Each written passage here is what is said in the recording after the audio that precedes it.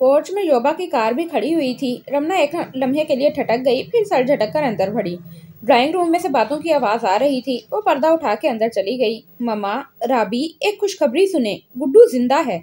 वो एक हफ़्ते तक पाकिस्तान पहुँच जाएगा। वो निहाल होकर वहाँ रंजूर सी खड़ी राबिया से लिपट गई। क्या वाकई? अयाज और राबिया बोल उठे। रमना ने सर उठाकर देखा तो हैरान रह गई।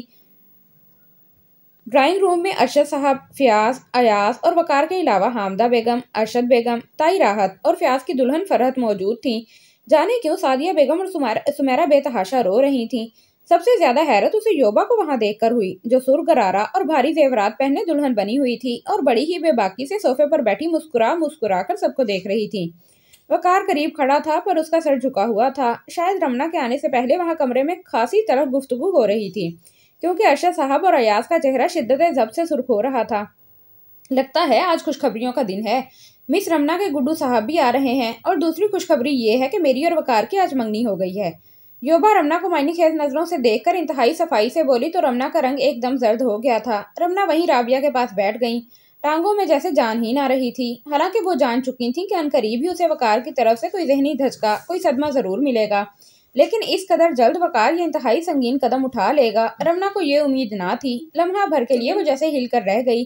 सभी उसके कुर्ब को समझ रहे थे। मिस्टर वकार, इससे पहले कि आपकी मंगेतर की बेइज्जती करके निकालूं, बेहतर यही है कि आप उसे लेकर यहाँ से तशरीफ़ ले जाइए। अयाज ने सर्द आवाज़ में कहा, उसे वकार की दलेरी और कमीनगी पर हैरत के साथ साथ तैश आ रहा था। वो रमना की तरफ़ से बेहद फिक्रमंद था। खुदा जाने ये सब देखकर, योबा को यूँ जहर उगलता पाकर, उसे किस कदर शदीद सदमा पहुँचे। कहीं वो सदमे और शर्मिंदगी के एहसास से होशो हवा से बेगाना ना हो जाए कहीं वो पागल ना हो जाए मर ही ना जाए वो हरासा था तरह तरह के वहम और वसवसे उसके दिलो दिमाग को दहला रहे थे। लेकिन वकार वो तो अयाज का ये तो ही नामेज रवैया बर्दाश्त ना कर सका और मुकाबले के लिए आ खड़ा हुआ। हूँ ये अयाज मेरे साथ यूँ कलाम करे इसकी ये जुरत वो दिल मिला उठा। अरे हिम्मत है किसी की जो योबा यानी मंगे, मेरी मंगेतर को कुछ कहे बेइज्जत करे। अयास तुम समझते क्या हो अपने आप को? वो झींपू सा वकार जो अपने चचा अरशद के सामने कभी सर उठाकर बात नहीं कर सकता था, इस वक्त तनकर खड़ा हो गया।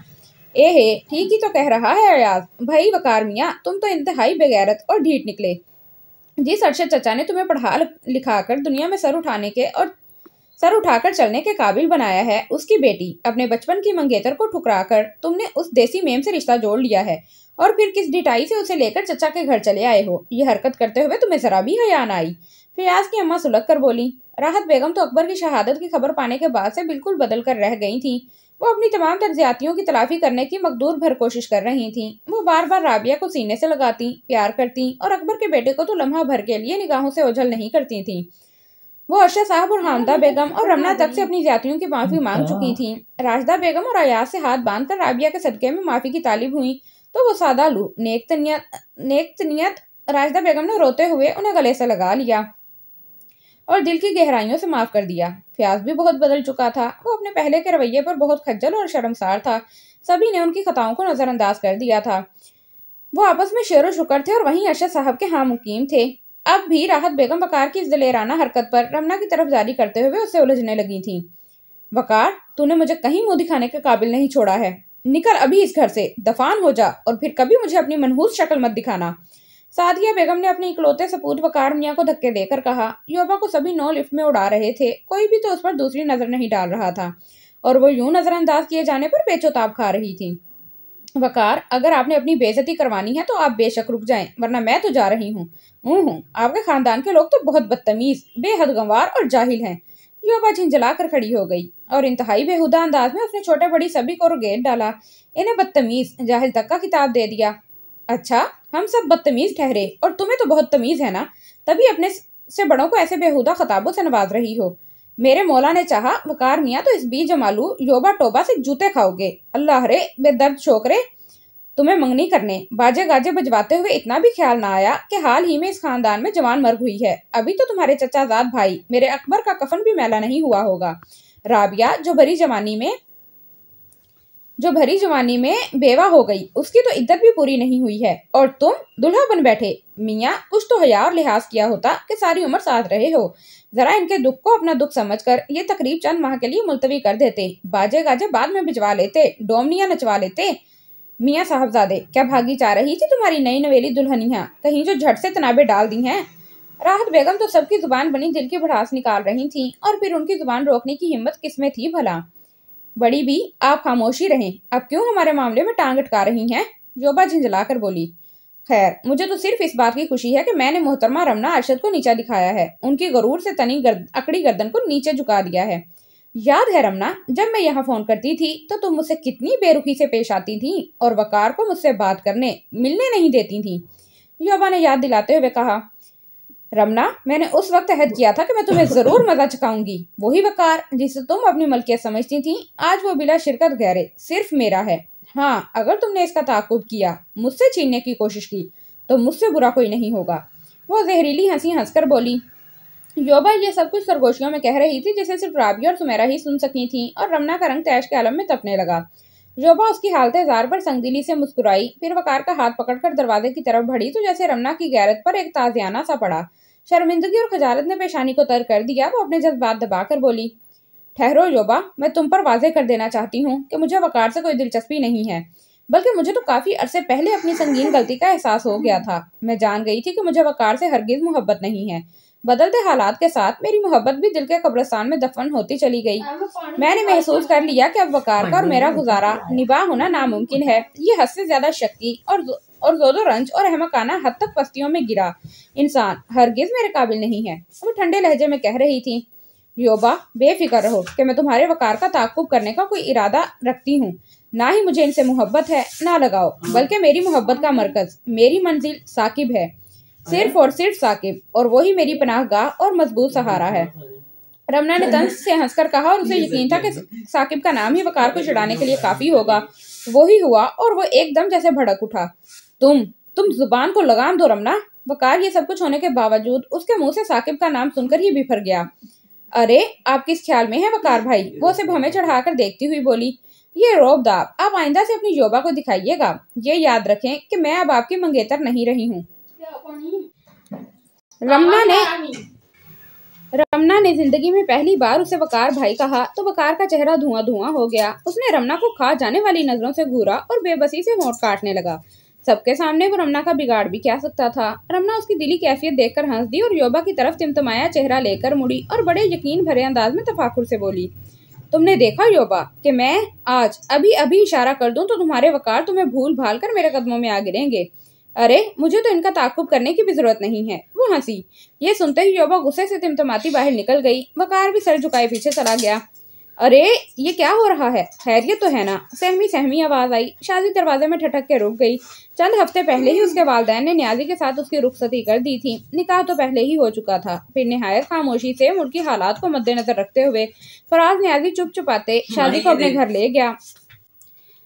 अगर इसके अज़ीज़ दोस्त साकिब और अकबर वहाँ होते तो शायद थोड़ा बहुत हंगामा और रौनक तो उसकी शादी पर हो जाती, लेकिन दिल तो पुजमर्दा था, फिर रौनक के दिल को क्या भाती? आओ शादी, आइए फराज भाई, रमना खुद को संभाल कर उनकी तरफ़ बढ़ी, चेहरे पर दर्द भरी मुस्कान थी, फिर शादिया के इस तफसार पर रमना ने उन्हें वकार और योबा की मंगनी के अलावा सब तलखुर तुर्श बातें कह सुनाई, शादी को भी वकार की हरकत का बहुत दुख पहुँचा, वो कितनी ही देर चुप रहे, फिर उन्होंने बताया, रमना, हम लोग तो तुम्हें एक ज़बरदस्त खुशखबरी सुनाने आए हैं। रानी अपने साकिब ज़िंदा हैं, वो कल पाकिस्तान पहुँच रहे हैं। शाजी ने बताया, उसके चेहरे पर दुख और खुशी के मिले जुले साए थे। कल साकिब आ रहा है, लेकिन शफीक अंकल तो कह रहे थे कि रमना हैरान रह गई। कर्नल साहब तुम्हें और फरीदा आंटी को सही बात नहीं बताना चाहते थे। उनका ख्याल था कि नामालूम साकिब की हालत कैसी हो, तुम लोग उसकी हालत देखकर खुद पर काबू रख भी सकोगी या नहीं? इस दौरान उसका शोहर फराज न्याजी बहुत उदास और घबराया हुआ सा लग रहा था। बेकल सा सभी ने उसकी खामोशी और बेचैनी को महसूस किया। वो तो इस कदर हंसूर और ज़िंदा दिल इंसान था। फराज भैया ये आप क्यों इतने परेशान नज़र आ रहे हैं? राबिया अपने बेटे को फराज की गोद में देकर बोली राबिया भाभी मैं जख्मियों की फहरिस्त देख कर आया हूँ और और साकिब के नाम और साकिब के नाम के सामने एल आई डी लिखा हुआ है। यानी उसे शदीद खतरे में करार दिया गया है। उसकी हालत सख्त तफशीशनाक है और ऐसे मरीज़ के ज़िंदा बचने के इम्कान बहुत ही कम होते हैं। फराज ने होंठ काटते हुए सर थाम लिया। ये सुनकर सभी बेचैन हो गए, लेकिन रमना की तो जैसे जान निकल गई। वो तो तड़प कर रह गई। रमना, फिर तुम अपनी तैयारी कर लो ना शाजी ने कहा, लेकिन बैरिस्टर अरशद ने मना कर दिया। शाजी बेटे, अभी आप लोग रमना को अपने साथ पिंडी मत लेकर जाएँ। मेरी तबीयत अभी ठीक नहीं है। मैं ज़रा संभल लूँ तो दो तीन दिन बाद खुद रमना के साथ साकिब को देखने आऊँगा। अरशद साहब ने थके थके अंदाज से कहा, उनका चेहरा बेहद जर्द हो रहा था। वो तो अपनी लाडली बेटी के लिए बेहद परेशान थे। ये सब दुख, ये सब अजियतें नित नए इनकशाफात हो रहे थे। बेचारी रमना कैसे ये सदमे बर्दाश्त कर पाएगी? उन्हें ये ख्याल निढाल कर गया। वो बेदम होकर सोफे पर ढह से गए। अयास, जो उन्हें बगौर देख रहा था, वो घबरा कर उठा और रमना को इशारा किया। अल्लाह अयास, डैडी को क्या हो गया है? मैं मैं डॉक्टर को बुलवाती हूँ। रमना घबरा कर फ़ोन करने भाग गई। बैरिस्टर अरशद का ब्लड प्रेशर बहुत बढ़ गया। दिन ब दिन बदलते हालात और वाकयात ने गोया उनकी तमाम दर कुत सलब कर ली थी। रमना के गम ने तो उन्हें ढाल कर दिया था। वो अपने जज्बाती फैसले पर पछता रहे थे कि उन्होंने क्यों बचपन में रमना को कार से मनसूब कर दिया था। वो बार बार रमना को सीने से लगाकर रोते, माफिया मांगते थे, खुद को मुर्दे इल्ज़ाम ठहराते, लेकिन अब ये पशवानी ये पछतावे बेकार थे। अब तो वक्त गुजर चुका था। दिल को जो घाव लगने थे वह कार की तरफ़ से लग चुके थे। किस्मत की सितम जरीफी तो ये थी कि आइंदा भी रमना का मुस्तकबिल उन्हें तारीख और अंधेरों में घिरा नज़र आ रहा था। साकिब ही तो वो वाहिद शख्स था जो कि रमना को दोबारा ज़िंदगी से रोशनास करवा सकता था। उसकी उदास ज़िंदगी में फिर से बहारों के रंग भर सकता था। लेकिन लेकिन वो भी तो मोतो हयात की कशमकश में मुबतला था। और अगर अगर खुदा ना खास्ता वो ज़िंदा ना बच सका तो तो रमना ये सदमा कैसे सहार पाएगी? बैरिस्टर साहब मुस्तरफ दिल को संभालने की कोशिश कर रहे थे, लेकिन उनकी हालत ख़राब तर हो रही थी। उनकी ये हालत देख देख कर हामदा बेगम भी हिम्मत और हौसला हार बैठी थी।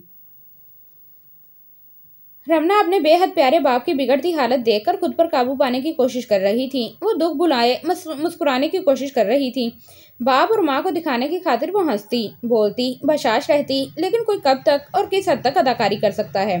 कभी तो हकीकतें चेहरे से वाजे हो जाती हैं, कभी तो चेहरों पर पड़े नकाब से रखी जाते हैं और सच्चाई दमक उठती है। और ये लम्हा, ये वक्त भी बहुत ही कठिन और दुशवार होता है। चक्की के दो पार्टों बीचों, चक्की के दो पार्टों बीच वजूद बुरी तरह से पिसने की वजह से रेजा रेजा होने लगता है। इन दिनों रमना का वजूद भी टूट फूट के अमल से गुजर रहा था। वो दिल के जख्मों से सब, वो दिल के जख्मों को सबसे छुपाने, उन्हें मुंतमिल करने की जिद्दोजहद कर रही थी। कर्नल शफीक, फरीदा खानम शाजी और फराज न्याजी दूसरे ही दिन पिंडी चले गए थे।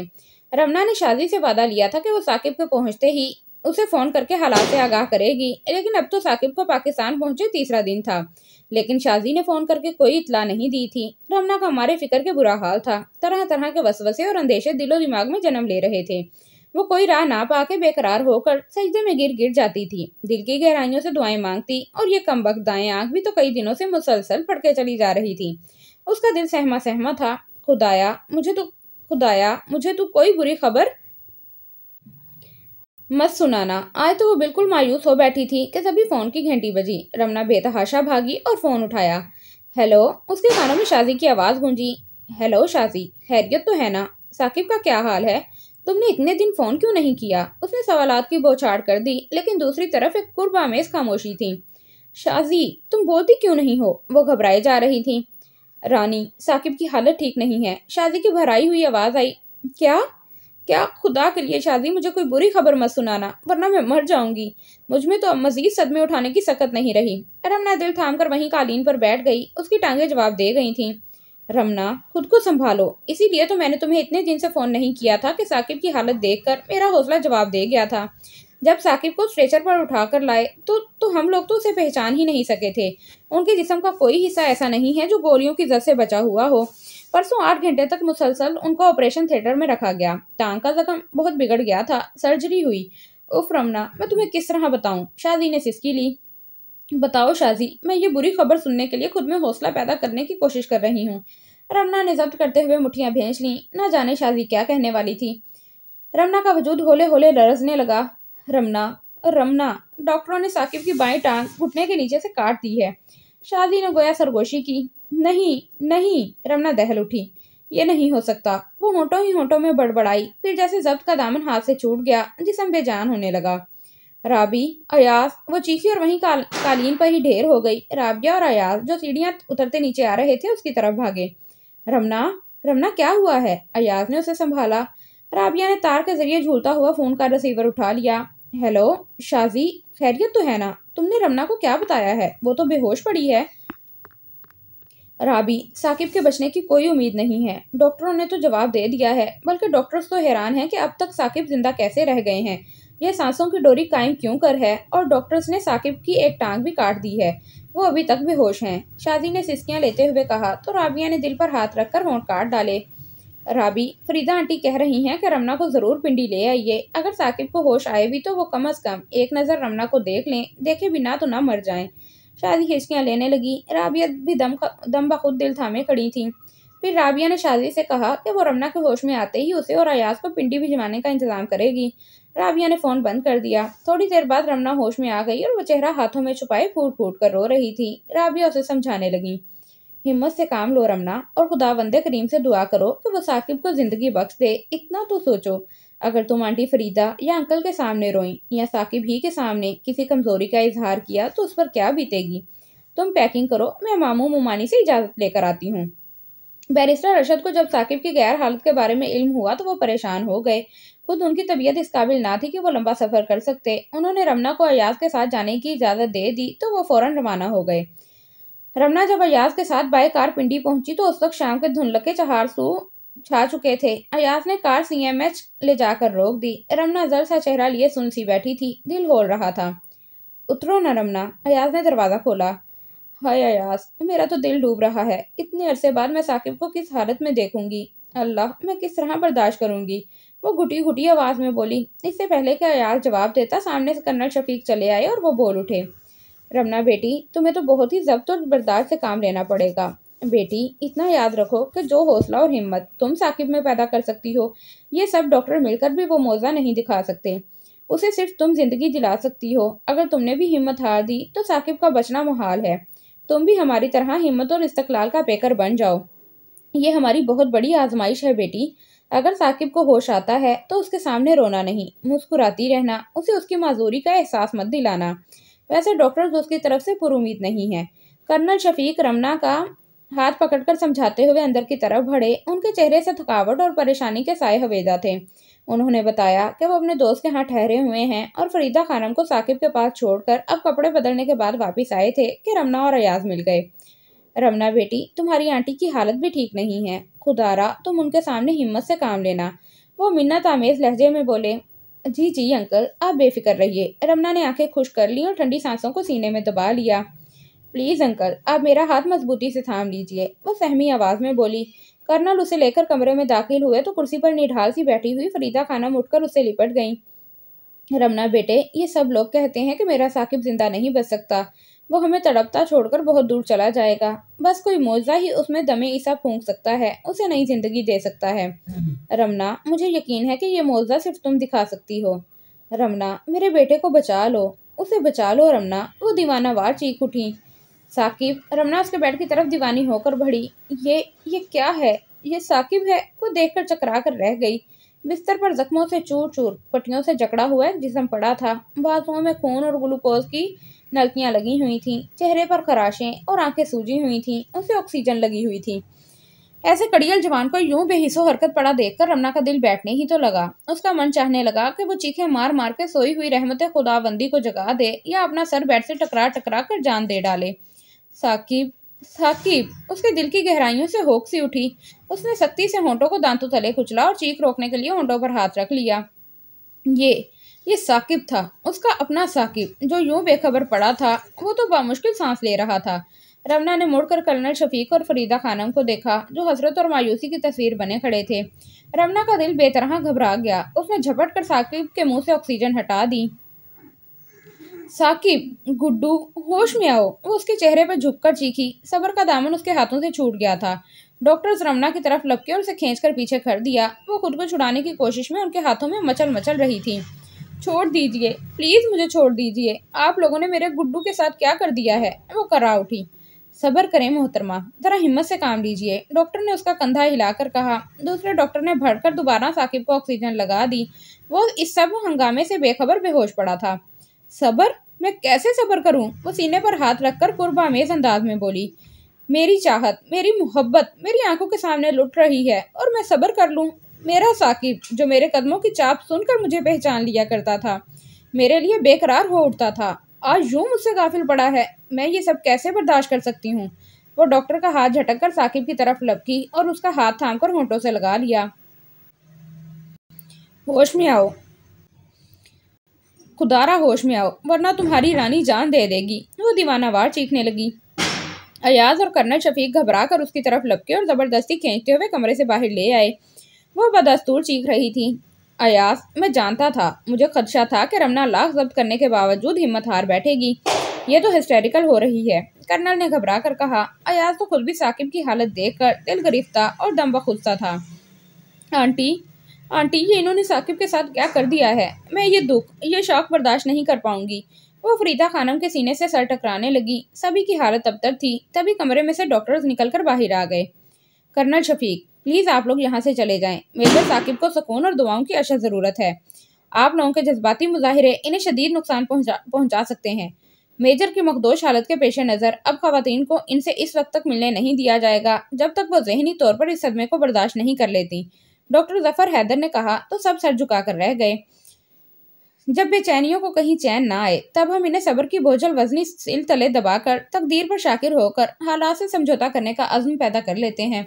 मजबूरन रमना ने भी आहों और चीखों को सीने में ही दबा लिया। वो जब्त का पैकर बन गई और डॉक्टर ज़फ़र के जा, सामने जाकर खड़ी हो गई। नहीं डॉक्टर साहब मैं आपके सामने हाथ जोड़ रही हूँ। आप हमें साकिब से दूर रहने का हुक्म ना दें। मैं वादा करती हूँ कि आइंदा मैं किसी कमज़ोरी का इजहार नहीं करूँगी। वो आजदी से बोली कर्नल ज़फ़र हैदर उसकी बात सुनकर तजब्जुब के आलम में खड़े थे कि आया, वो उसकी बात माने या ना माने। फिर कर्नल शफीक ने भी यकीन दहानी करवाई तो उन्होंने रमना को साकिब को देखने की इजाज़त दे दी। तो उन्होंने रमना को साकिब को देखने की इजाज़त दे दी। ओके बीबी, लेकिन आप मेजर साकिब के बेड के नज़दीक बिल्कुल नहीं जाएँगी। हाथ तक नहीं लगाएँगी इन्हें, और अगर एक आँसू भी बाहर निकला तो कान से पकड़कर बाहर छोड़ आऊँगा। रमना ने यह धमकी सुनकर जल्दी जल्दी आँसू खुश कर लिए। फिर वो दबे पाँव दोबारा कमरे में दाखिल हुई। साकिब वैसे ही बेहिस्सो हरकत पड़ा था। रात को रमना और कर्नल शफीक जागते रहे। उन्होंने वे सबर आजमा, अंधेरी रात आँखों में काट दी। फरीदा खानम तो सजदे में पड़ी हुई थी। कोई तीन बजे के करीब अचानक साकिब का सांस उखड़ गया तो अफरा तफरी सी मच गई। डॉक्टर ने सबको कमरे से बाहर निकाल दिया और अपने फ़र्ज़ की अदायगी में जुट गए। फिर दो घंटे तक वो मादरे वतन के जियाले मुहाफिज की जान बचाने की कोशिश करते रहे और फिर खुदा तला ने उन्हें अपने नेक मकसद में कामयाबी अता की। तभी फजर की आजान की आवाज़ गूंजी तो मोह से नबर्द आजमा डॉक्टरों के चेहरों पर फतह मंदी की पुरसकून मुस्कुराहटें उभरी। वो सुख का सांस लेते हुए कमरे से बाहर निकले। बाहर खड़े सभी लोगों ने उन्हें वहशत ज़्यादा अंदाज से देखा। उन्हें देखकर कर्नल ज़फ़र हैदर के चेहरे पर पुरसकून तसली बख्श, मुस्कुराहट उभरी। शफीक, माय फ्रेंड, तुम्हें मेजर साकिब की नई ज़िंदगी मुबारक हो। उन्होंने बढ़कर कर्नल से हाथ मिलाकर मुबारकबाद दी तो एहसास तशक्र से कर्नल शफीक की पलकें भीग गईं। सफ़ेद खौफजदा चेहरे पर ज़िंदगी ज़िंदगी की सुर्खी छा गई। ये क्यूट सी लड़की, अपने साकिब की क्या लगती है? कर्नल ज़फ़र हैदर ने तजस भरे अंदाज में रमना की तरफ़ इशारा करते हुए पूछा, जो फरीदा खानम के कंधे से लिपटी खड़ी थी, ये ये हमारी बेहद प्यारी बेटी रमना है। कर्नल शफीक ने रमना को पहलू से लगाते हुए बड़े दुलार से कहा तो अयाज भी मुस्कुरा दिया। मेजर की तबीयत के बारे में जान, जानने जानने बेफिक्र होने के बाद सब जरा पुरसकून हो गए थे। अच्छा तो ये बेटी हैं आपकी, यानी साकिब की बहन? ज़फ़र हैदर ने कुछ हैरान होकर कहा, दरअसल वो तो रमना की वारफ्तगी और वालहानापन देखकर यही समझ रहे थे कि यकीनन रमना साकिब की बीवी या फिर मंगेतर तो ज़रूर होगी। तभी उन्हें झटका सा लगा था। तभी उन्हें झटका सा लगा था जब कर्नल शफीक ने बताया कि रमना उनकी बेटी है, पर रमना ने उनकी गलतफहमी खुद दूर कर दी। नहीं नहीं, डॉक्टर, मैं साकिब की बहन थोड़ी हूँ। मैं तो उनकी नहीं, वो तो मेरे, रमना कहते कहते ज़रा सा छटकी, फिर जल्दी से कर्नल शफीक की तरफ़ देखते हुए जुमला पूरा कर दिया। डॉक्टर, ये साकिब, दरअसल मेरे मंगेतर हैं। रमना ने बात करते ही लज्जा कर कर्नल शफीक के सीने में मुँह छुपा लिया, जो कि रमना के मुँह से ये अजीबो गरीब बात सुनकर, एक अनहोना रिश्ता सुनकर हैरान से रह गए थे। रमना, और साकिब के मंगेतर? उन्होंने कुछ ना समझते हुए रमना की सिम देखा, जो नज़रें चुरा रही थी। ओ अच्छा ठीक है। मेरा भी यही ख्याल था कि तुम साकिब के मंगेतर होगी। भाई, बहुत खुश नसीब है हमारा साकिब। कि उसे फ़ी जमाना बहुत ही सुलझी हुई, बहुत ही टूट कर प्यार करने वाली, प्यारी सी दुल्हन मिली है। खुदा तुम दोनों की खुशियों को बरकरार रखे। कर्नल ज़फ़र हैदर का कंधा थपथपा कर चले गए। रमना ने सर उठाकर उलझे उलझे से कर्नल शफीक को देखा, जो उसे बगौर सवालिया नज़रों से देख रहे थे। रमना ने भी हौसला इकट्ठा करने की सही करते हुए गला खंकार कर साफ़ किया। अंकल, आप आपने बुरा तो नहीं माना। ये जो मैंने आप लोगों से पूछे भी ना सबके सामने साकिब को अपना मंगेतर कह दिया है, वो कुछ खजालत से अपनी नाक को उंगली से सहलाते हुए बोल रही थी।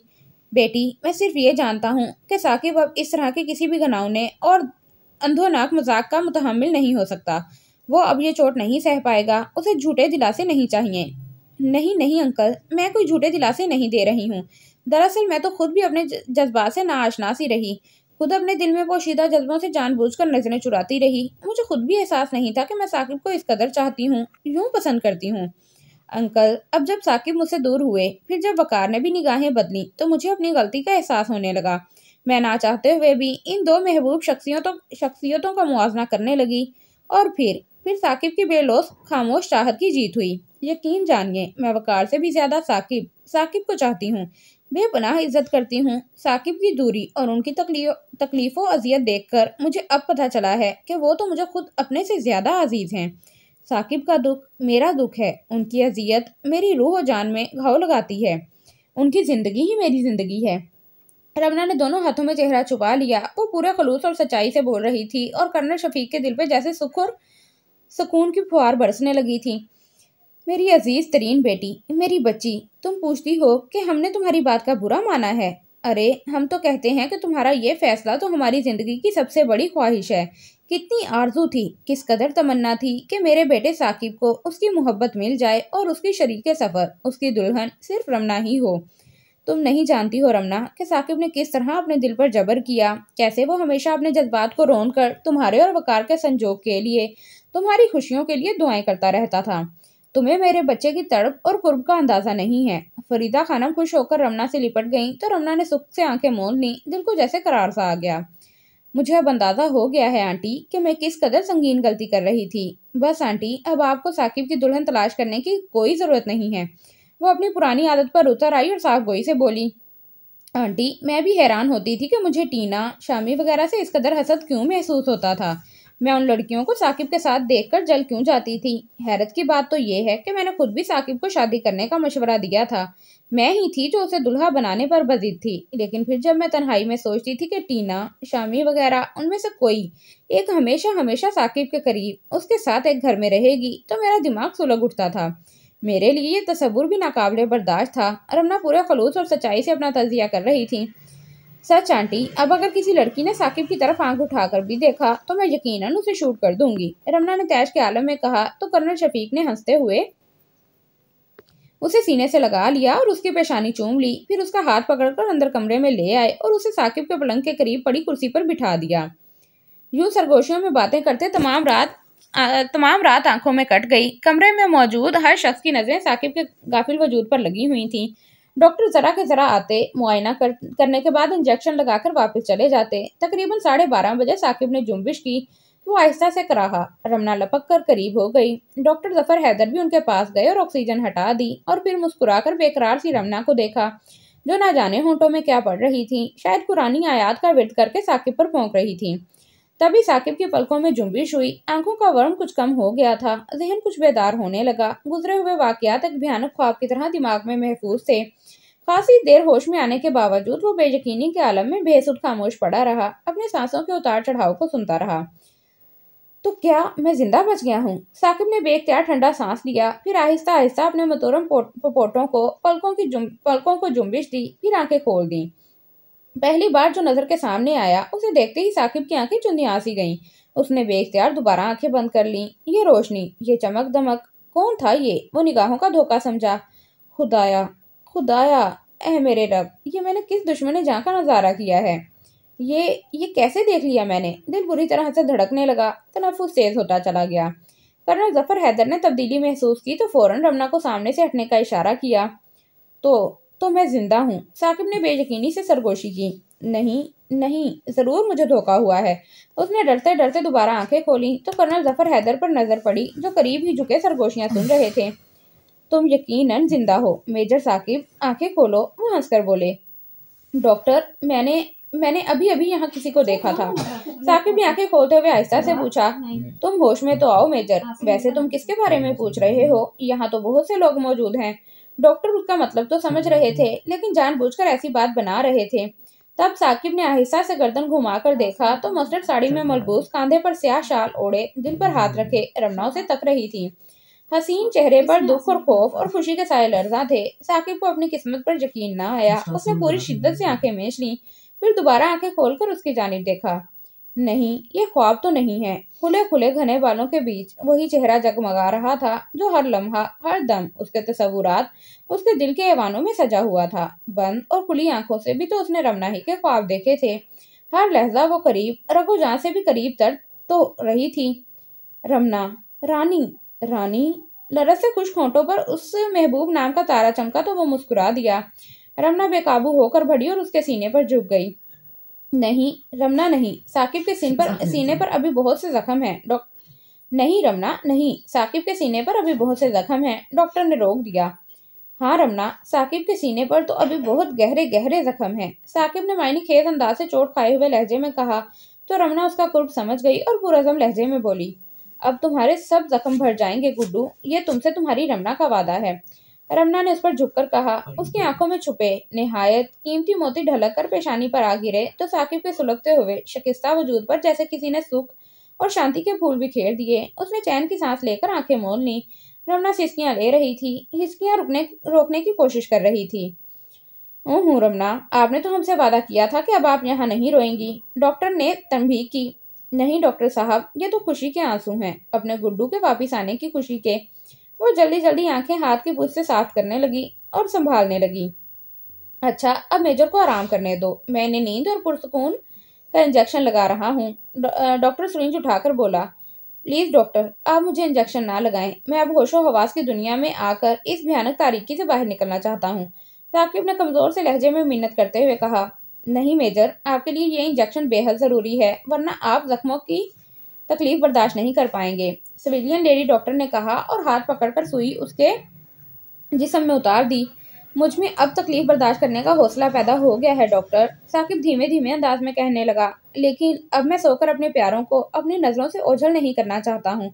वो माँ को बेकरारी से अपनी जानी भरते देखकर मुस्कुरा दिया था। फरीदा खानम ने उसके कमज़ोर चेहरे चेहरे पर बोसों की बारिश कर दी और साकिब की बुलाएँ ले रही थी। मेरे बच्चे, मेरे गाजी, खुदा तुम्हें मेरी उम्र भी लगा दे। साकिब आहिस्ता आहिस्ता माँ से बातें करने लगा, फिर थोड़ी देर बाद इंजेक्शन अपना असर दिखाने लगा और मेजर साकिब ने आँखें मोन ली। गहरे गहरे सांस लेता, नींद की सुनहरी वादियों में खोने लगा। साकिब की तरफ़ से अब सबको कुछ तसल्ली सी हो गई थी। सभी खुदा का शुक्र अदा करते हुए खुशी से निहाल थे। दूसरे दिन साकिब की आँख देर से खुली लेकिन उसकी तबीयत पहले से बहुत बेहतर थी। वो धीमी आवाज़ में बातें कर रहा था लेकिन डॉक्टर उसे होश में देखकर फिर इंजेक्शन दे देते थे। वो चाहते थे कि साकिब जिस कदर भी आराम करे उसके लिए उतना ही बेहतर है। इस तरह एक हफ़्ता गुजर गया। साकिब की हालत बतदरीज संभलती जा। रही थी।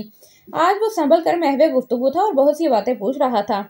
अम्मी जान यकीनन आप रमना को ज़बरदस्ती पकड़कर अपने हमरा लाई होंगी। वो उदासी से मुस्कुरा कर बोला अरे नहीं, साकिब बेटे, रमना खुद अपनी मर्ज़ी से आई है और अब वो तुम्हें छोड़कर कहीं नहीं जाएगी। फरीदा खानम ने यकीन दिलाया। आखिर कब तक रोकेंगी? वकार इसे मेरे पास नहीं रहने देगा, वो अंदेशों, महरूमियों से लबरेज लहजे में बोला। गुड्डू, मैं सच कहती हूँ, अब दुनिया की कोई ताकत तुम्हें मुझसे जुदा नहीं कर सकती। रमना ने मोहब्बत भरे अंदाज से कहा क्या यह मौजा रोनुमा हो सकता है? साकिब ने बेयकीनी से उसे देखते हुए ठंडी सांस लेकर आँखें मोन ली। फिर गोलियों के जेरे असर उसके जहन पर गनूदगी छाने लगी। जल्द ही वो गाफिल हो गया। आजकल यूँ ही सोते जागते में तो उसके दिन रात गुजर रहे थे। यूँ तो साकिब को होश में आए हफ़्ता हो चुका था और सब डॉक्टर उसके इस कदर जल्दी सेहत इस कदर रूबा सेहत होने पर सख्त हैरान और खुश थे। ये दवा से ज़्यादा खुदा की रहमत और रमना की सच्चाई का ही तो करिश्मा था और साथ ही साथ उसमें साकिब की बेपना कुत इरादी का भी दखल ज़रूर था। मेजर साकिब को अभी तक इस अंधो नाकलमिया का इल्म नहीं था कि उसकी टांग काट दी गई है। डॉक्टरों ने भी उसके मकदूश हालत के पेश नज़र उसे हकीकत से आगाह नहीं किया था। खुद साकिब को भी शक नहीं हुआ था क्योंकि टांग तो घुटने के नीचे से काटी गई थी और उस पर पट्टियाँ बांधकर नीचे एक नरम सा तकिया रख दिया गया था ताकि जख्म पर कंबल का बोझ ना पड़े। किसी ने भी तो उसे टांग कटने की खबर नहीं दी थी और खुद साकिब ने भी कंबल हटाकर जख्म देखने की कोशिश नहीं की थी। अगरचे एक दो बार दिमाग में ख्याल आया भी था, लेकिन फिर जैसे उसने फ़ौरन झटक दिया। वैसे चंद लम्हों के लिए तो वो होश में आता था, वरना तो वो सुकून बख्श दवाओं के जेर असर सोया ही रहता था। फिर भला वो ये सब कैसे जानता? और एक तरह से ये साकिब के लिए बेहतरी भी थी कि वो इस कदर कमज़ोर हो चुका था। मुमकिन है कि यह संगीन इंकशाफ उसका कमज़ोर वजूद और चोट खाया हुआ दिल सहार ना सकता। बर्दाश्त ना कर पाता और वो जान से हाथ धो बैठता। ये भी मुमकिन था कि वो दिमागी मरीज़ हो जाता, होशो गिरस से होशो गिरस से बेगाना हो जाता। रमना भी तो हर लम्हे उसके करीब रहती थी। साकिब के सब काम वो अपने हाथों से करती थी। आज ही उसने कर्नल शफीक से कहकर साकिब की शेव बनवाई थी। फिर अपने हाथों से उसके बाल संवार कर कपड़ों पर परफ्यूम लगाया था और साकिब भी अपने वजूद को फूलों की तरह हल्का फुल्का महसूस कर रहा था। वो मोहब्बत पाश नज़रों से उसे तक रहा था। गुड़िया रानी, मैं तुम में अजीब अजीब सी तब्दीलियाँ महसूस कर रहा हूँ। बहुत बदल गई हो तुम। वो गौर से रमना को देखता हुआ बोला तो वो चौंक गई। कैसी तब्दीलियाँ? रमना जो नेल कटर से उसके नाखून तराश रही थी उसके हाथ रुक गए। साकिब ने उसे सर से पाँव तक आहिस्ता आहिस्ता देखा। पहली तब्दीली तो ये है कि तुम कभी साड़ियाँ नहीं पहनती थी। तुम हमेशा यही कहती थी कि साड़ी पहनकर बंदा ख्वाम खा सोबर और मुदर सा नज़र आता है। गंभीर सी शख्सियत बन जाती है। और अब दो हफ्तों से, जब भी मैं होश में आता हूँ तो मैं मुसलसल साड़ी में मलबूस देख रहा हूँ और दूसरी तब्दीली तुम्हारी आदात में आ गई है। तुम हद से ज़्यादा संजीदा हो गई हो। वो पहली सी लापरवाही लाउबालीपन बेसोचे समझे जो मुँह में आए बोल देना। वो तो जैसे सिरे से खत्म होकर रह गया है, अब तो जैसे बातें भी सोच समझ कर करने लगी हो। साकिब ने कुछ ऊँचे होकर कहा, फिर रमना बातें करते करते तुम्हारे चेहरे पर दुख के साय से लर्जा हो जाते हैं और तुम दूर कहीं खो जाती हो। तुम्हें देखकर ऐसे लम्हात में मेरा दिल वसवसों का शिकार हो जाता है। बताओ रमना, आखिर ये तब्दीली कैसी? इस मुख्तर सी मुद्दत में मेरी वो हंसती मुस्कुराती रमना किधर छुप गई? है साकिब ने आहिस्ता से उसका हाथ थाम कर हिलाया। रमना की पलकें नम होने लगी थीं। होंठ शिद्दत जब से कपकपाने लगे थे। दिल चाह रहा था कि वो इस अजीम, दिलेर गाजी अपने बचपन की दुख सुख के साथ ही अपने गुड्डू को अपने तमाम तर दुख, सब जख्मों के घाव दिखा दे। उसे इस मुख्तसर से वक्त में गुजरी तमाम दास्तानें गम से रोशनास करा दे और उसके सीने में मुँह छुपाकर दिल का तमाम तर बोझ उतार दे। वो बेख्तियार होकर उठी, लेकिन फिर उसने संभाला लिया। नहीं, साकिब को अभी कुछ भी नहीं बताना चाहिए। वो मुखलिस इंसान तो उसके कुर्ब को महसूस करके तड़प जाएगा। उसका गम, अपना गम समझ बैठेगा और अपने दुखों में इजाफा कर लेगा। और रमना उसे कोई नया दर्द नहीं देना चाहती थी। अब नहीं, हरगिज नहीं, उसने दिल को मज़बूत करते हुए कहा। वाह गुड्डू, तुम तो ख्वाम खा बात का बतंगड़ बना बना रहे हो। भाई, अब कभी ना कभी तो संजीदा होना ही था। मेरी उम्र बढ़ती जा रही है। आखिर कब तक बचपना तारी रहता? अब तो मैं बाशूर हो गई हूँ ना। बदलते वक्त और तेज़ी से तब्दील होते हालात ने शायद मुझे भी बदल दिया है। वो बात टालने के लिए हंसने लगी। रानी, मैं भी तो इस बदलते वक्त और बदलते हालात के बारे में जानना चाहता हूँ। और सबसे बड़ी बात तो ये है कि तुम मुझे बातों से नहीं बहला सकती। मैं तुम्हें बचपन से लेकर अब तक अच्छी तरह से जानता हूँ। तुम्हारी पसंद, नापसंद से वाकिफ हूँ। बताओ, मेरे ढाका जाने के बाद ऐसा कौन सा हादसा गुजरा जिसने तुम्हें यूँ बदल डाला है? वो बजीद होकर बोला, वैसे तो गुड्डू, तुम्हारा ढाका जाना, जंग लड़ते वक्त लापता हो जाना, ये सब कुछ मेरे लिए किसी हादसे से कम नहीं था। जब तुम चले गए तो मुझे शिद्दतों से अपनी तबाही का एहसास होने लगा। तब ही मुझ पर मेरे जज्बों के राज खुले, दिल के बंद दरवाजे एकदम से खुलकर मुझे, मेरे वजूद तक को लर्जा गए। तब मुझ पर यह हकीकतें भी वाजे अंदाज से खुली कि तुम तुम ही तो मेरे दिल में मेरी सोचों पर काबिज हो। सिर्फ़ तुम ही मेरी मोहब्बत, मेरी ज़िंदगी हो, गुड्डू। और और बाकी सब सब एक फ्रेब था, एक अधूरा ख्वाब था। रमना ने एकदम उसके कंधे में मुँह छुपा लिया और आँखों के बंद खुल गए, आंसुओं की बरसात होने लगी। साकिब उसकी हालत देखकर कुछ गुमसुम सा हो गया और खामोशी से उसके बालों को सहलाते हुए सोच रहा था वो उसे खुलकर रोने दे ताकि दिल पर बड़ा बोझ हल्का हो जाए। वक्त दबे पाँव गुजरने लगा। रफ्ता रफ्ता हिचकियों, सिस्कियों में कमी आती गई। फिर अचानक रमना ने सर उठा लिया और रुमाल से चेहरा साफ़ किया। उफ, गुड्डू, तुम्हारे सीने के जख्मों को तो मैंने कुरेद दिया। वो परेशान होकर बोली तो साकिब हंस दिया। सीने के जख्म तो अब मुंदमिल होने लगे हैं गुड़िया, लेकिन तुमने अब मेरे दिल के जख्मों को कुरेद डाला है। साकिब ने ठंडी सांस ली। नहीं साकिब, ऐसा मत कहो। अब इन जख्मों को भरना होगा, वरना मैं ज़िंदा नहीं रहूँगी। वो मुल्तजियाना अंदाज में बोली, तुम ही बताओ, भला कैसे भरेंगे ये जख्म? तुम हो कि मुझे दोस्त के अलावा कोई मुकाम देने पर तैयार नहीं हो? और मेरी ये हालत है कि मैं अपनी मोहब्बत को अब छुपा नहीं सकता। तुमसे दूर रह नहीं सकता, अपनी चाहत का गला नहीं घोंट सकता, वो निढाल होकर रह गया। तो किसने कहा है कि तुम अपनी मोहब्बतों को दिल में छुपाओ, अपनी चाहतों का गला घोंटो? मैं सच कहती हूँ, साकिब, तुम मेरे सब कुछ हो। अब अब मैं तुम्हें कैसे बताऊँ? रमना मुँह छुपाकर रोने लगी। न जाने क्यों वो खुद में हौसला नहीं पैदा कर पा रही थी कि खुलकर तफसीली गुफ्तगु कर सके। उसके आँसू साकिब को बेचैन कर गए। अरे, मेरी अच्छी गुड़िया रानी, तुम तो रोने लगी। हालाँकि मैं तो मज़ाक कर रहा था। वो जल्दी से बहलाने लगा। अच्छा रमना, ये बताओ, अब जबकि मैं ज़िंदा सलामत, वन पीस वापिस आ गया हूँ तो तुम पहले की तरह मेरी शादी के लिए इसरार करोगी? ये बताओ, मेरी गैर मौजूदगी में तुमने कोई लड़की देखी भाली, पसंद की? वो बात बदलने की खातिर बशाश अंदाज से बोला और रमना का झुका चेहरा उंगली से ऊँचा किया। क्यों? मैं क्यों लड़की ढूंढूँगी? वो एकदम सर उठाकर बोली, भला मुझे क्या ज़रूरत है? बल्कि जो तुम्हारे लिए लड़की ढूँढने की कोशिश करेगा, मैं उसके टुकड़े कर दूँगी, शूट कर दूँगी, वो सुलग उठी।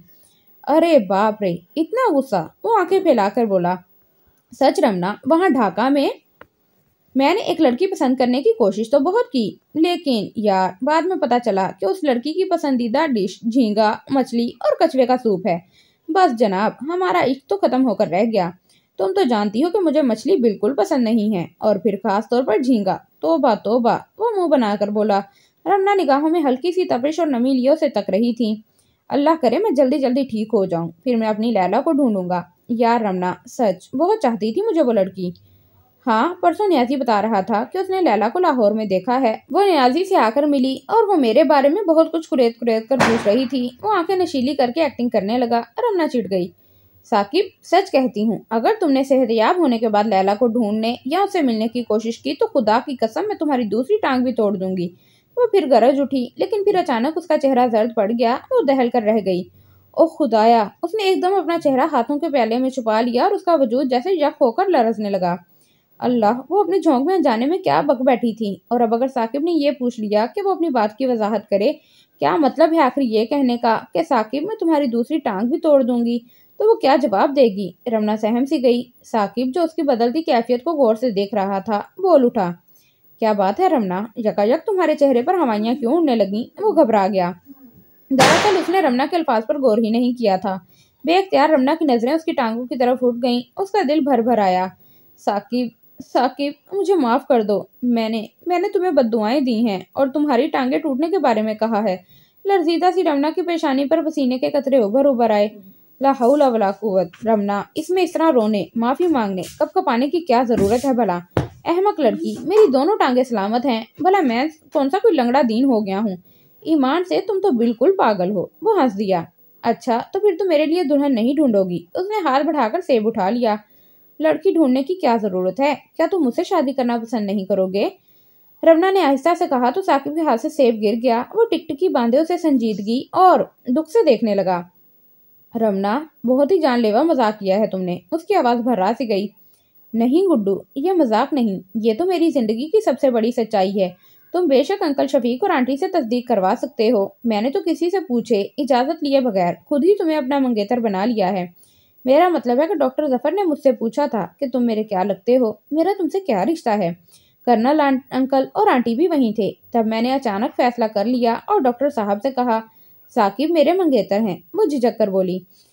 शफीक अंकल वगैरह को भी अचानक ही पता चला कि कि मैं तुमसे शादी करना चाहती हूँ। वो मुँह छुपाकर बोली, यार, रमना, ये ये तुम कैसी बहकी बहकी बातें कर रही हो? तबीयत तो ठीक है ना तुम्हारी? वो हरासा और शशदर था होकर एकदम उठने लगा तो रमना ने उसे कंधों से थाम कर वहीं रोक लिया। फिर नहाय सहूलत से हाथों, कंधों पर दबाव डालकर उसे लेटा लेटा दिया और सच्चे खरे लहजे में बोली, साकिब, मुझे तुम्हारी कसम, मैं मैं झूठ नहीं बोल रही। अब अगर मेरी शादी हुई भी तो सिर्फ़ तुमसे होगी, वरना मैं सारी उम्र शादी नहीं करूँगी। वो मज़बूत लहजे में बोली तो साकिब ने उसे बेयकीनी से देखा। अंदाज में शक के साए लर्जा थे। आखिर वो रमना की आदात से बाखूबी वाकिफ था। क्यों? रमना, क्या तुम्हारी वकार से लड़ाई वड़ाई हो गई है? तभी तो तुम मुझ पर नज़र करम कर रही हो, वो संजीदगी से बोला।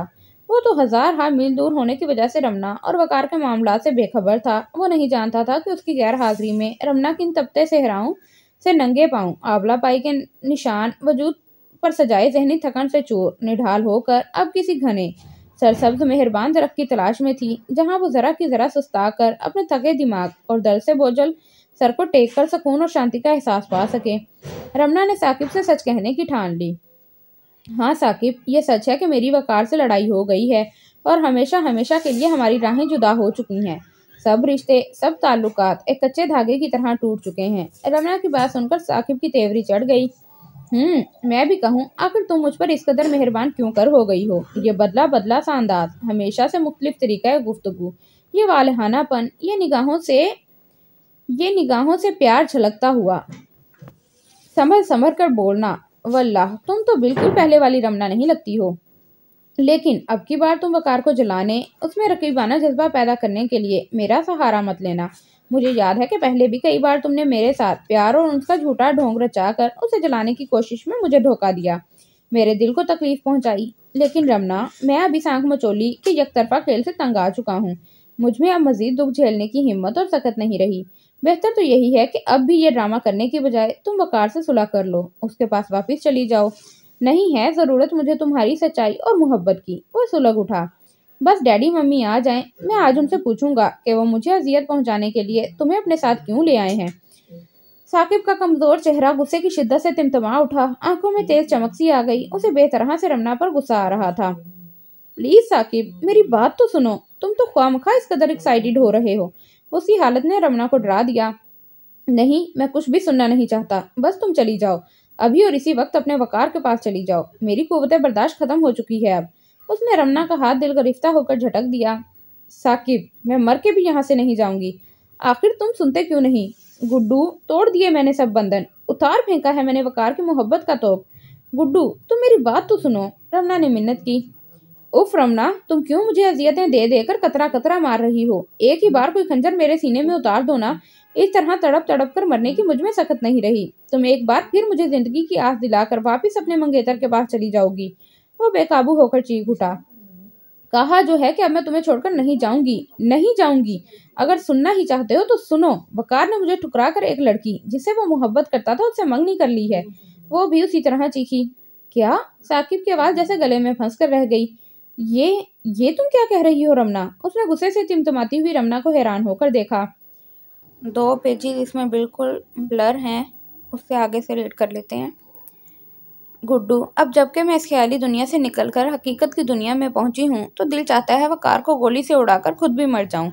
साकिब, क्या मोहब्बत इतनी अंधी होती है कि आशिक अपने महबूब की हर बुराई और हर ऐप पर पर्दा डालता रहे? बुराइयों तक बुराइयों तक को नज़रअंदाज कर दे। वो आँखें मूंदे निढाल निढाल से लहजे में बोल रही थी। हाँ रमना, मोहब्बत अंधी तो होती है, जब ही तो। ये जानते हुए भी कि तुम वकार की मलकियत हो। मैं दीवाना वार तुम्हारे ताकुब में दौड़ता रहा हूँ। साकिब ने आहिस्ता से उसका हाथ दबाया। बहुत अजीब होते हैं दिलों और मोहब्बतों के रिश्ते रमना। इंसान की हरकत, उसकी सोच, किसी चीज़ पर भी तो उसका कंट्रोल नहीं रहता। वह एक ऐसी मशीन बन जाता है, जिसे कोई अनदेखी, अनजानी कुत अपनी मर्ज़ी के तहत कंट्रोल करती है। वो होंठ काटता हुआ बोला, साकिब, अगर, अब अगर मैंने तुम्हारे सामने वकार और अपने बारे में कोई सफ़ाई पेश की तो तुम समझोगे कि वकार से हाथ धोने के बाद, अब अब मैं तुम्हें फंसाने के लिए तुम्हारे सामने झूठे दावे कर रही हूँ कि मुझे वकार से मोहब्बत नहीं थी। या या अब मैं उसे शदीद नफरत करती हूँ। साकिब मेरा खुदा गवाह है कि तुम्हारे ढाका जाने के बाद ही मुझ पर यह तकलीफ़ दे इंकशाफ हुआ था कि वकार तो महज है हयोला था। एक जागती आँख का ख्वाब। तुम ही बताओ साकिब इसमें मेरा क्या कसूर? बचपन ही से ये सुनते सुनते कि वकार मेरा मंगेतर है। मेरे कच्चे जहन और दिलो दिमाग में तो ये बात नक्श होनी ही थी। तभी तो मैं खुद को वकार की अमानत और उसे अपनी मलकियत समझने लगी थी और ये सब जुल्म ज्यादतियाँ बर्दाश्त करती रही। लेकिन ढाका जाने से एक रात पहले, जब तुमसे मेरा झगड़ा हो गया था और तुम मुझे बताए और मिले बगैर जा रहे थे, और तुम्हारे इस तरह जाने के बाद मैं हर वक्त तुम्हारी और वकार की आदात का मुआवजना करती रहती थी, और फिर हर बार तुम्हारी मोहब्बत का पलड़ा झुका हुआ नज़र आता। यूँ मुझ पर मुनकशिफ हुआ कि वकार तो महज एक साया है, एक ऐसा साया जिसने मेरे चारों, जिसने मेरे वजूद को चारों तरफ़ से अपने घेरे में लिया हुआ था लेकिन मैं जब भी चाहती उस साय को हाथ से हटाकर उस हिसार से बाहर निकल सकती थी। और तुम्हारी चाहत, तुम्हारी बेलोस मोहब्बत, एक मुजस्म हकीकत है।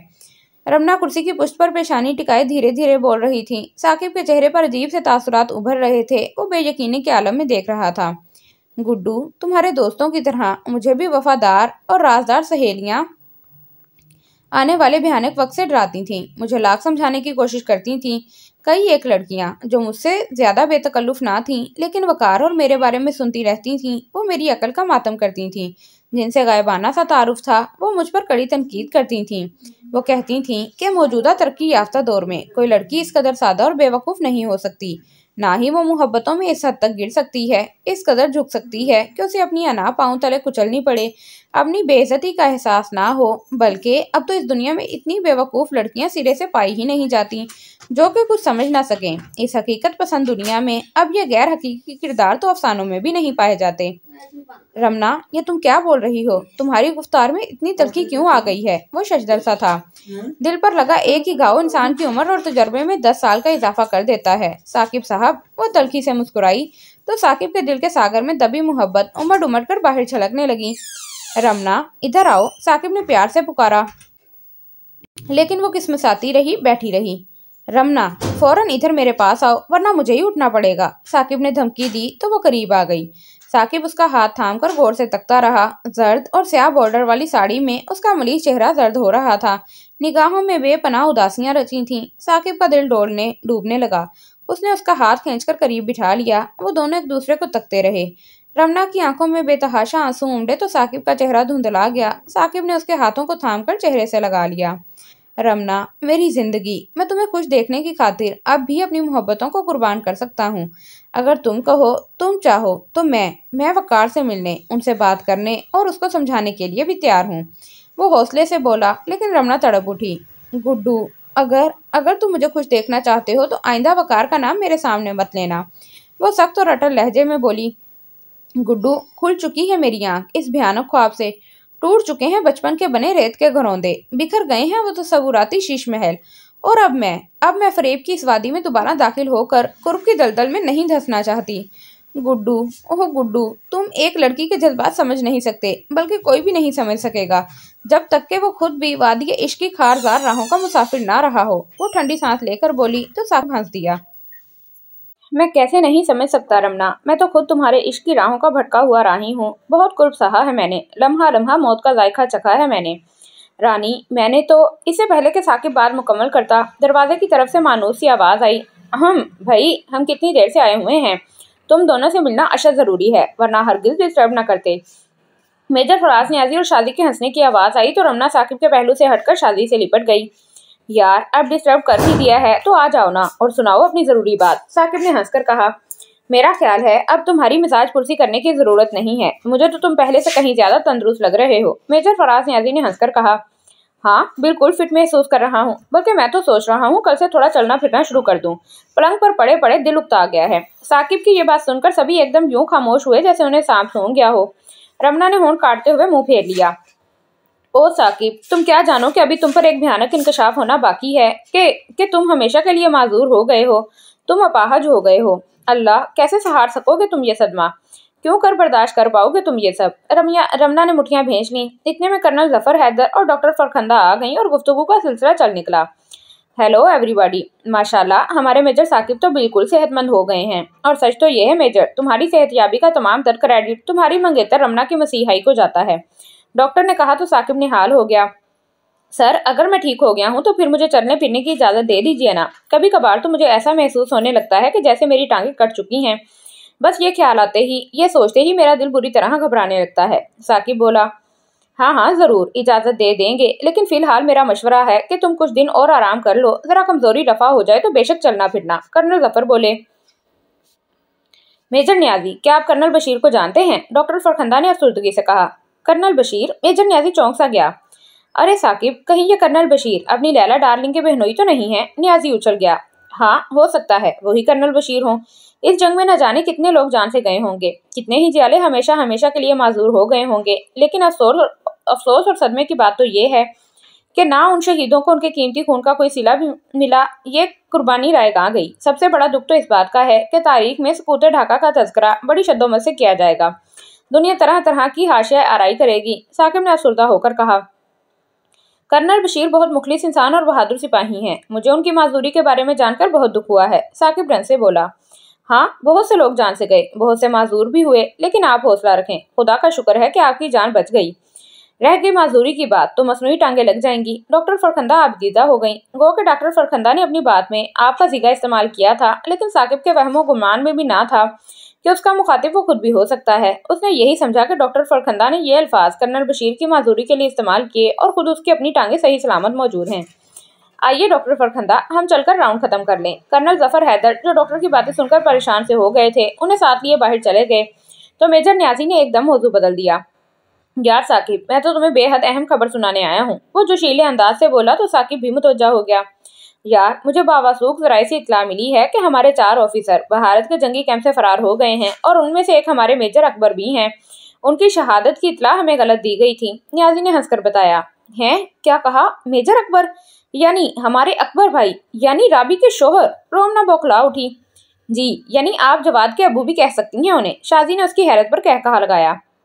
ये तो ये तो नाकाबले यकीन बात है, ये तो मौजा ही रोनुमा हो गया है, शायद शायद खुदाबंदे करीम को अपनी राबी की हालत जार पर तरस आ गया होगा, वरना हम लोग तो इस मनहूस खबर को सच जानकर उनका चालीसा तक करा बैठे हैं। या अल्लाह, सच सच शुक्र है कि तूने हम सब पर करम की नज़र की। रमना शुक्र बजा लाई फराज, अब अकबर है कहाँ? साकिब ने खुश होकर बेताबी से पूछा।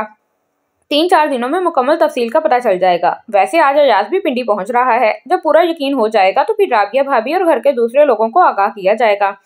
ऐसा न हो कि झूठी आस लगा बैठे। फराज न्याजी ने कहा, सब बड़े खुश हो गए और देर तक अकबर की बातें करते रहे।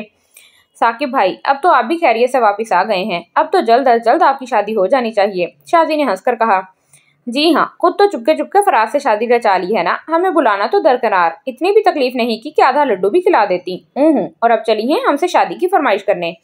वो मुँह फुलाकर रूट गया।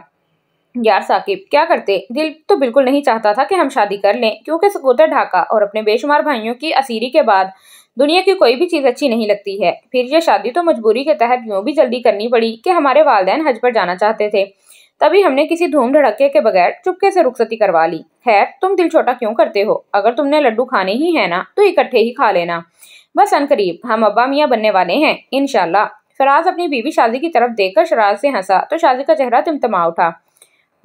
शर्म तो नहीं आती ना दान निकालते हुए। तोबा, किस कदर खुश हो रहे हैं? शादी शर्मिंदा होकर बेसाख्ता बोली तो सबने कह कहा लगाया वो और ज़्यादा सुर्ख होकर बड़बड़ाने लगी।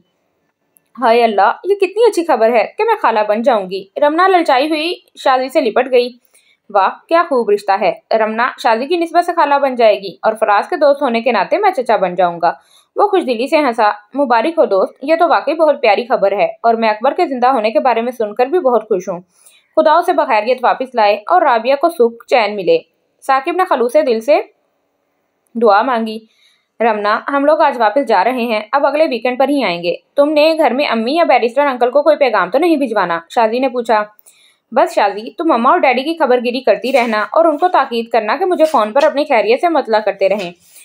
अयाज वहाँ है तो सही उनकी देखभाल के लिए। राबी और सब लोग वहाँ हैं, तभी तो मैं मुतमिन हूँ। रमना बातें करते हुए उन्हें छोड़े, बाहर तक चली गई, लेकिन जब वो वापस आई तो साकिब को कुछ मुतफक्र और परेशान सा पाया। वो कुछ सोचते हुए अपनी टांगों को देख रहा था। क्या बात है गुड्डू? रमना का दिल अनजाने अंदेशों से सहम कर रह गया। देखो रमना, जब मैं लेटता हूँ तो मेरा दायां पाँव बेड की पाइंती के ठंडे आहनी दस्ते से छूने लगता है। मैंने बारहा कोशिश की कि किसी तरह बाया पाँव भी पाइंती के दस्ते को छू जाए, मगर ऐसा करने में हनूज नाकाम रहा हूँ। मेरा ख्याल है डॉक्टरों ने कल एनेस्थीजिया देकर टांग सुन कर दी होगी, तभी मुझे लम्स का एहसास नहीं हो रहा। वो पुरख्याल अंदाज में बोला हाँ हाँ गुड्डू, तुम्हारी इसी टांग में तो गोलियों का ब्रश लगा था ना, तभी तुम्हें तकलीफ़ से बचाने की खातिर डॉक्टर इस टांग को बेहिसी रखते हैं। रमना ने घबरा कर जल्दी से कहा, अजीब बात है, अब तो ऑपरेशन हुए भी कई हफ़्ते गुजर चुके हैं।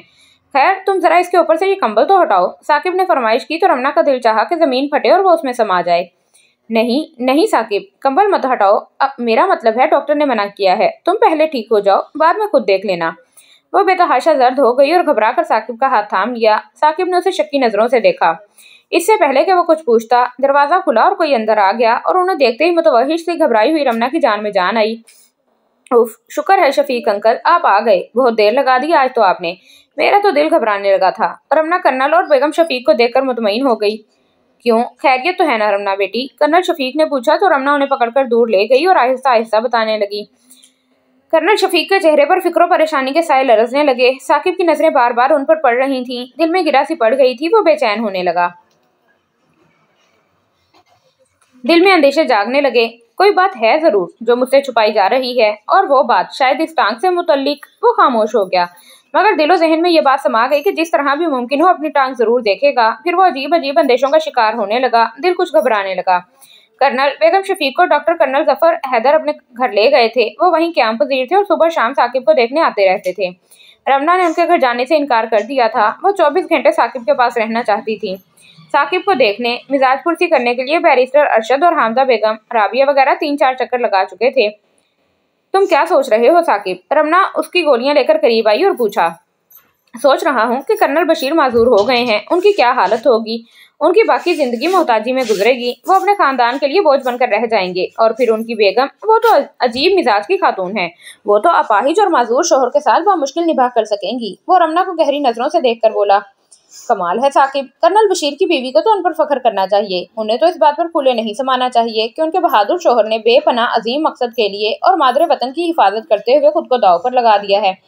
खुदा गवाह है कि अगर मैं कर्नल बशीर की बीवी की जगह होती तो उनकी इस कुर्बानी पर अब तमाम उम्र उनकी प्रस्तिश करती। रमना ने अजम से कहा, उफ रमना, अगर तुम इस लहजे में बात करोगी तो मेरे दिल में भी यही ख्वाहिश पैदा हो रही है कि ए काश, जंग में मेरी टांगे भी काम आ जाएँ। इस तरह तुम कम अज कम मेरी प्रस्तिश तो करती। तोबा। मुझे तो हसद होने लगा है कर्नल बशीर से, वो हंसकर बोला, प्लीज़ गुड्डू, ऐसी बातें तो ना करो रमना बेख्तियार रोने लगी। तुम रोने क्यों लगी? पगली, मैं तो तुमसे मज़ाक कर रहा था। साकिब ने उसे पकड़कर पास बिठा लिया। गुड्डू, तुम मुझसे एक वादा करो। रमना ने बेकरार होकर उसका हाथ थाम लिया। हाँ हाँ एक वादा नहीं, दस वादे कर सकता हूँ। तुम कहो तो सही, वो प्यार से बोला। गुड्डू, चाहे कुछ भी हो जाए, बेशक तुम्हें बेपना जहनी सदमा पहुँचे या जिस्मानी तकलीफ़ उठानी पड़े। बस तुम मुझसे वादा करो कि तुम कभी हिम्मत और हौसला नहीं हारोगे, बल्कि बहादुरी से सब कुछ बर्दाश्त करोगे। करोगे ना? रमना ने मिन्नत करते हुए कहा। और उसका हाथ हिलाया। रमना, तुम्हारे होते हुए मैं अब सब कुछ बर्दाश्त कर सकता हूँ, लेकिन अब अगर बर्दाश्त नहीं करूँगा तो वो तुमसे दूरी है। तुम्हारी दूरी नाकाबले बर्दाश्त है मेरे लिए, वो संजीदगी से बोला। हाँ हाँ साकिब तुम यकीन करो, मैं पहले भी तुम्हारी थी और अब भी सिर्फ़ तुम्हारी हूँ। रमना ने होठों से उसका हाथ छू लिया, वो उसकी बेकरारी को हैरत से देख रहा था। लेकिन रमना, तुम्हारी इन बातों का आखिर मतलब क्या है? वो तजब्जुब में मुबतला था, तभी रमना का बुलावा आ गया। मिस साहिबा, आपको कर्नल शफीक, डॉक्टर ज़फ़र साहब के ऑफ़िस में बुला रहे हैं। नर्सिंग अर्दली ने आकर कहा रमना साकिब को आराम करने की तलकीन करती हुई उठकर बाहर चली गई। वहाँ ऑफ़िस में सभी इकट्ठे थे और डॉक्टर ज़फ़र से बहस हो रही थी कि आया मेजर साकिब को उनकी टांग के बारे में बता देना चाहिए या नहीं। फरीदा खानम का तो रो रो कर बुरा हाल था। डॉक्टर, वैसे भी साकिब शक शक में मुबतला हो चुके हैं। आज वो सारा दिन मुझसे उलझते, झगड़ते रहे कि कंबल हटाकर उन्हें टांग दिखा दी जाए। रमना ने सहमे हुए अंदाज में कहा रमना, जब साकिब के पास से उठकर डॉक्टर ज़फ़र हैदर के ऑफ़िस गई तो साकिब ने बहाने से नर्सिंग अर्दली को वहाँ रोक लिया था। अयास, ज़रा पानी तो पिला दो, बहुत प्यास लग रही है। साकिब ने नर्सिंग अर्दली से कहा तो वह पानी लेकर करीब आ गया। साकिब ने गिलास उसके हाथ से थाम कर एक घूंट लिया। भाई, आज तो मुझे सख्त गर्मी महसूस हो रही है। ज़रा मेरे पाँव से लोहे का ढांचा और वजनी कंबल तो ज़रा परे हटा दो। साकिब ने लापरवाही से कहा तो वो सादा लू सिपाही उसकी बातों में आ गया। साकिब ने उसे कहकर सरहाने की तरफ़ से अपना बेड ऊँचा करा, करवाया, फिर दायां पाँव पानी में फंसाकर किसी कदर उठकर बैठ गया। तब अर्दली ने पाँव पर से कंबल हटा दिया। साकिब की बेकरार नज़रें जब सामने पड़ी तो सिर्फ़ एक ही पैर नज़र आया। साकिब का कलेजा धक से रह गया। सांस जैसे रुक रुक गई। उसकी हालत पानी में से निकली हुई मछली जैसी थी। वो मुँह खोले फटी फटी आँखों से देखता हुआ गहरे गहरे सांस ले रहा था। पसलियाँ जैसे दुखने लगी थीं। इनकशाफ ऐसा था कि सदमे के मारे साकिब के सर में अचानक शदीद किस्म का दर्द होने लगा। आँखों के सामने बेपना तारीखी छा गई। पानी का गिलास उसके हाथ से छूट कर छनाके से फर्श पर गिर गिर कर बिखर गया।